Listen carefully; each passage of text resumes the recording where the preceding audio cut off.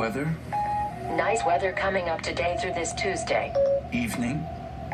You don't have anything on your calendar for this evening. Fantastic. Linguiça. I found five restaurants whose reviews mention linguiça fairly close to you. Joke? Two iPhones walk into a bar. I forget the rest. That's funny. Was it something I said? Yes, it was.